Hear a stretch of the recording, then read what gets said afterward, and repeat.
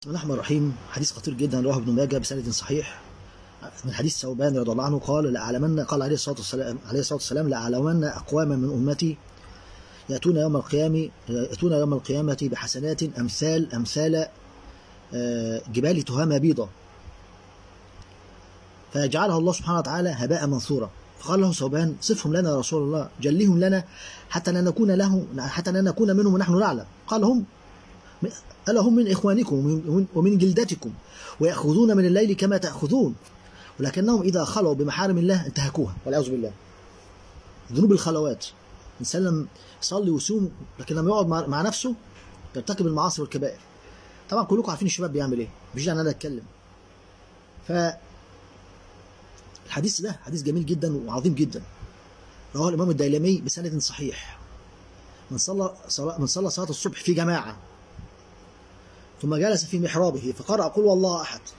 مئة مرة غفر الله غفر الله له الذنوب التي بينه وبين الله ولم يطلع عليها أحد إلا الله.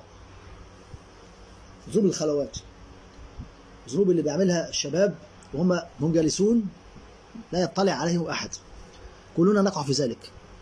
تصور بقى لما تيجي بجبال وجبال وجبال من حسنات من صيام وصيام وصلاة وحج و و و وربنا يضيعها كلها. فالحديث قراءة سورة الإخلاص 100 مرة بس الرسول قال في صلاة الصبح في جماعة. ده مش كده بس ده ده ده ده, ده العمل ده له فضائل عظيمة كثيرة جدا. تانية تكتب عند الله يكتب يرفع لك عمل 50 صديقا. من قال قول الله أحد. بعد صلاة الغداء رفع له في هذا اليوم عمل 50 صديقا. ولو انت على طهارة بس تقرأ الفاتحة قبلها. اقرأ الفاتحة الأول بعدين اقرا قول الله أحد 100 100 100 مرة. هتاخد برضه رواه ابن ماجه هتاخد بكل واحدة منها قصر عظيم في الجنة.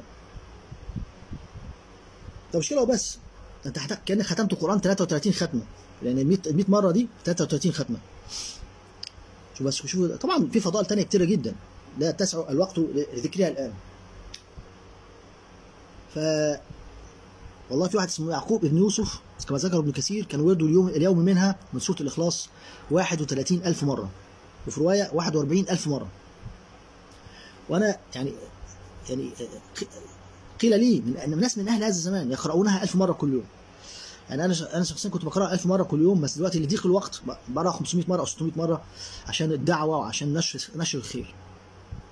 لكن أرجو أن يعطينا الله سبحانه وتعالى من الثواب أكثر من يقرأها 1000 مرة لنشر الخير اللي أنا بعمله. فيا ريت كل واحد سمعني دلوقتي.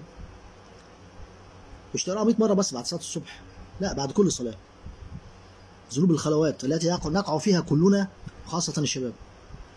ولو أنك فعلت هذا العمل وواظبت عليه بإخلاص تغفر. مش بس تغفر بقى لك الذنوب ولكن تعصم. ربنا يلهمك ربنا سبحانه وتعالى يلهمك التوبة. لأن ربنا سبحانه وتعالى مش هيدخل حد الجنة وهو ما يستحقش. لو أنت أخلصت ربنا يديك قوة على التوبة. كل قولي هذا استغفر الله لي ولكم.